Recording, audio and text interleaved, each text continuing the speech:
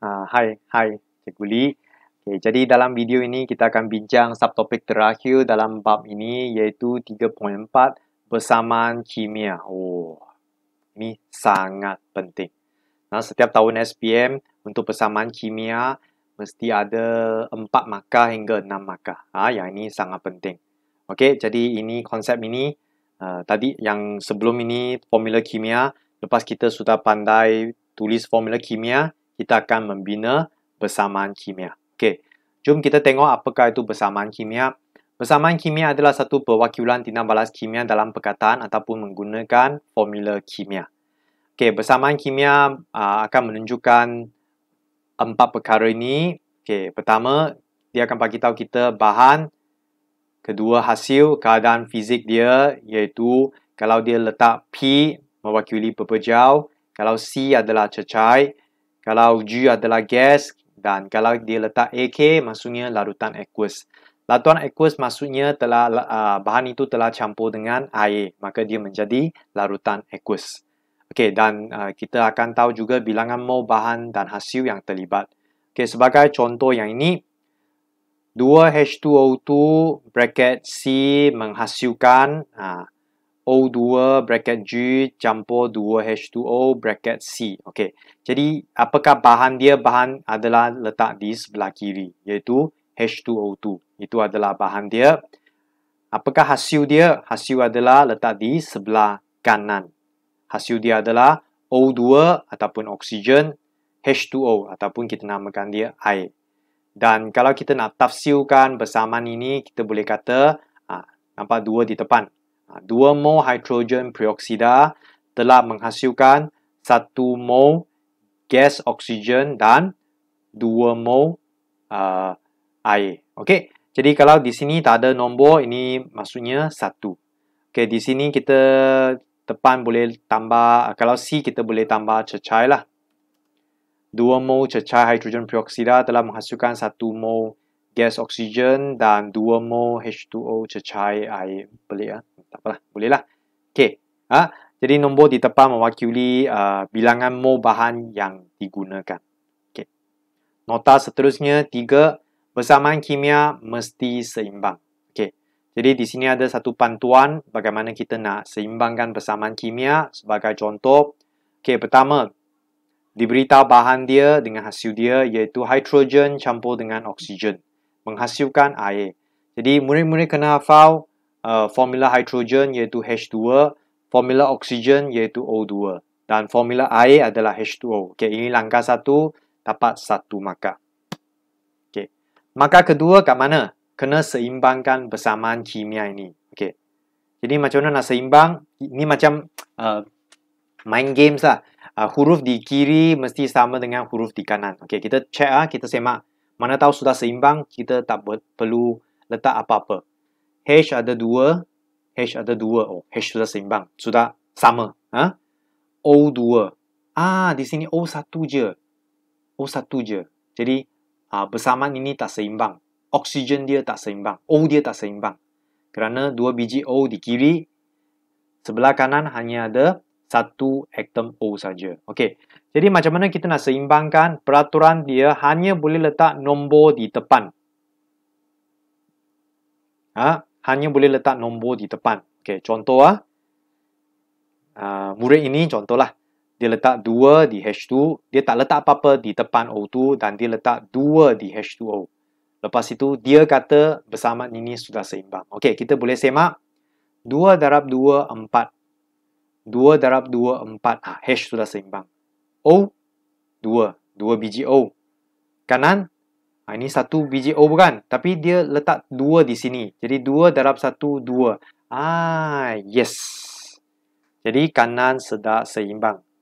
Boleh faham? Seimbang. Huruf kiri dengan huruf kanan, dia mesti mempunyai bilangan yang sama. Okay? So, inilah jawapan akhir dia.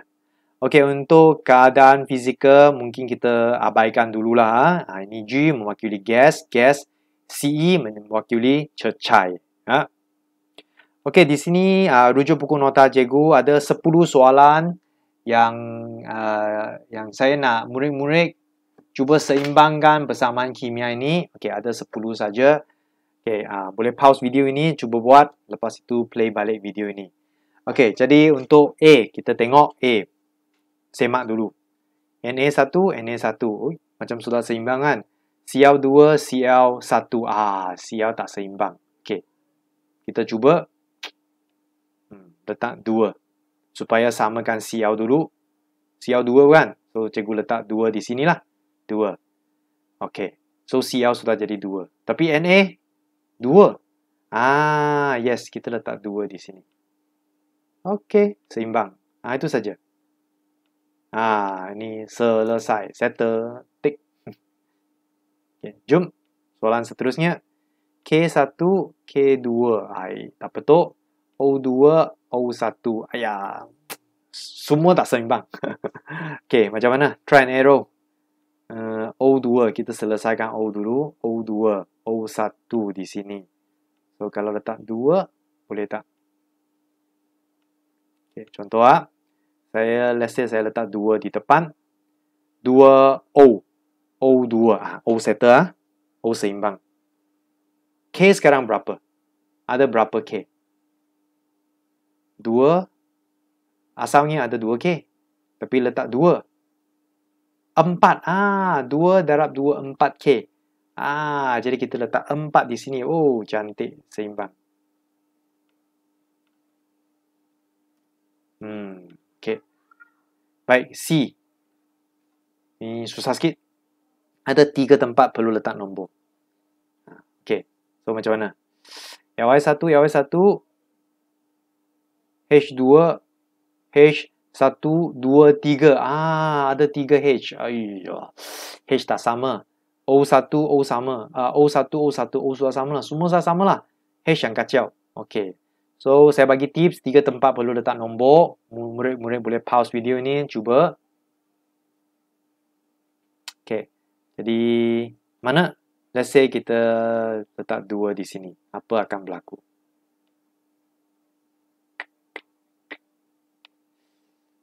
Okay. Dua NA. NA tak betul lah. Letak dua. Lagi. O nak berapa? O asalnya satu je. Sekarang letak dua. Dua O. So, kita letak dua O. Ha, jadi dua O. Hmm.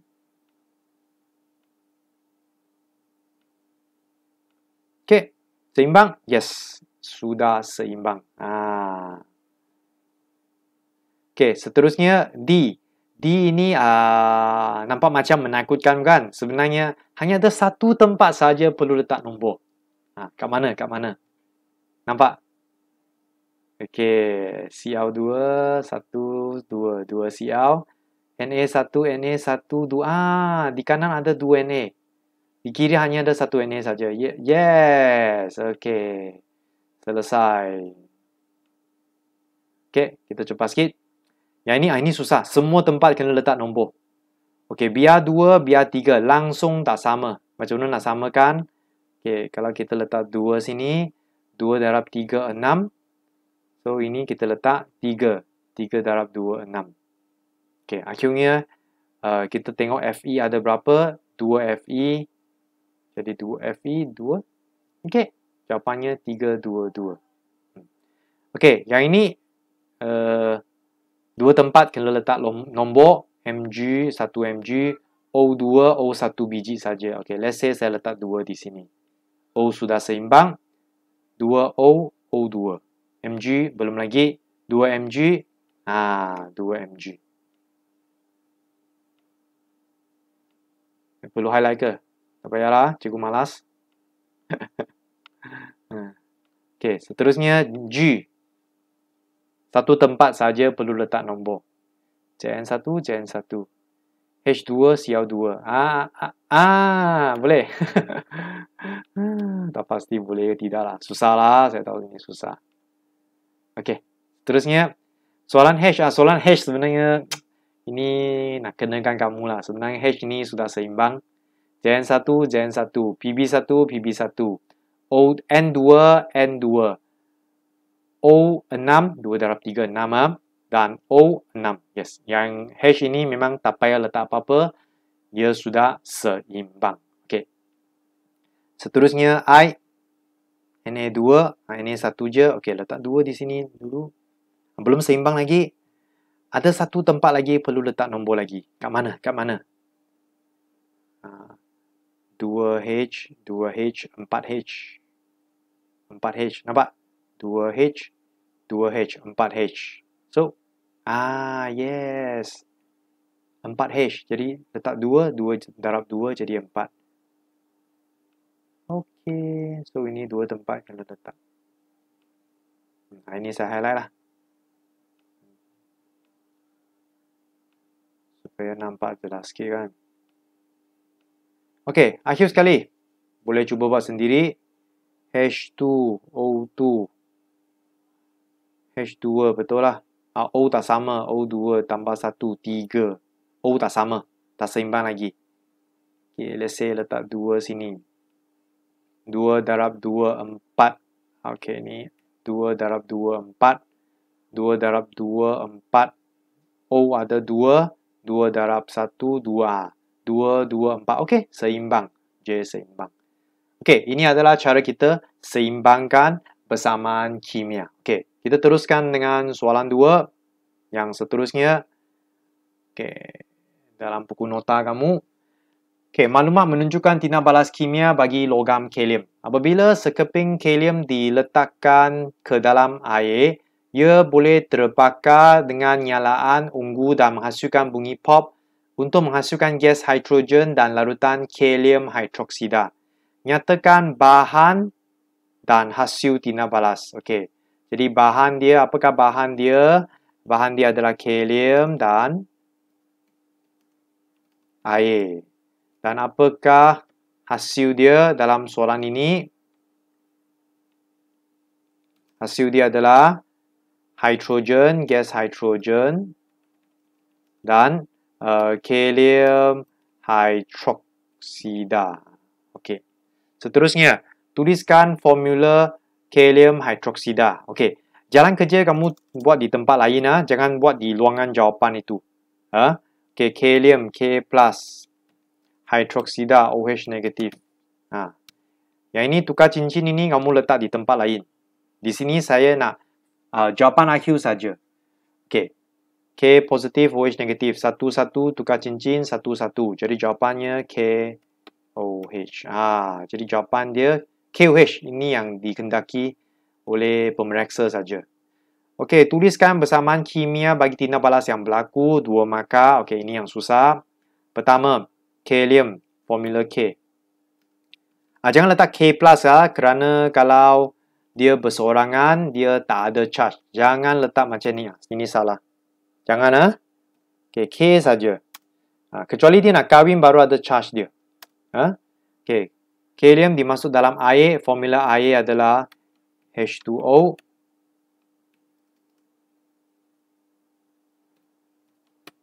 Menghasilkan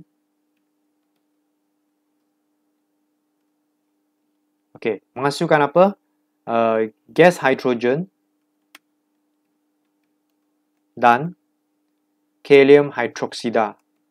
Okey, kalium hydroksida kita sudah uh, tulis formula dia KOH. Okey. Then sudah Boleh tak? Tutup kedai? Tak boleh. Ha, dia ingat kena seimbang lagi. Ha, kena semak sama ada dia seimbang ataupun tidak. Okey, seimbang tak? K1, K1. Bu, macam seimbang kan? H2, H2. Ah, belakang ada satu H lagi. H tak seimbang. Ih, macam mana nak seimbangkan? Okey, H lah. Kita settle H dulu. Let's say kita letak 2 di sini. Apa berlaku? 2O. Okey. Kalau letak 2. 2 darab 2, 4H. 2H, 2H. Okey, H settle. 2O, 2O. O settle. Ah, tinggal K saja. 2K. Jadi kita letak 2K di sini. Yes, settle selesai. Okey. Akhirnya uh, tafsirkan bersamaan kimia di dalam C. Okey. Jadi kita boleh tulis uh, 2 mol pepejal kalium. Oh, dia tak bagi tahu ah. Hmm. Apalah. 2 mol K bertindak balas dengan 2 mol air menghasilkan uh, 1 mol hidrogen H2 dan 2 mol KOH. Ah, okey. Macam ni. Ah, kita kena nyatakan. Ah, berapa mol semua itulah. Hmm.